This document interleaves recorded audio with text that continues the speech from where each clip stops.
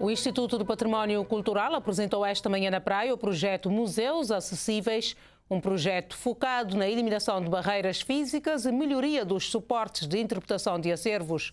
Tudo para garantir acesso físico das pessoas com deficiência aos museus e à cultura.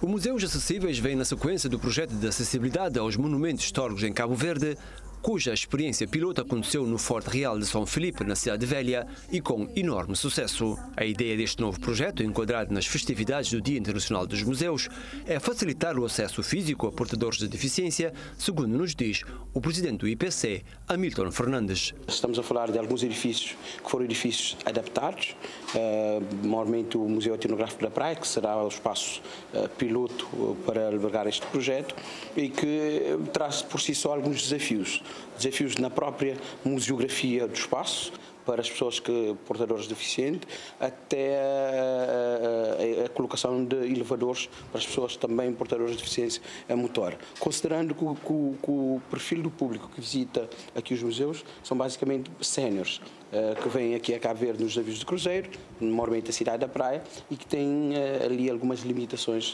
uh, físicas para aceder a esses museus. Preocupação que ultrapassa a questão física. O projeto irá, por outro lado, focar-se na eliminação e correção dos obstáculos de interpretação dos acervos. Pessoas que têm uma ou outra deficiência eh, se sentem um pouco excluídas, digamos assim, relativamente às narrativas históricas que temos aqui em Cabo Verde.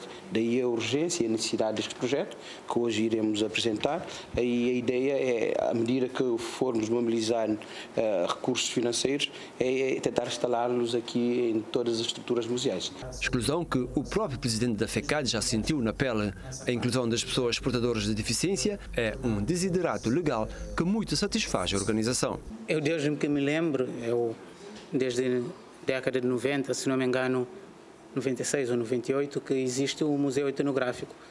Imaginem a minha grande curiosidade em visitar esse museu, mas nunca tive essa oportunidade.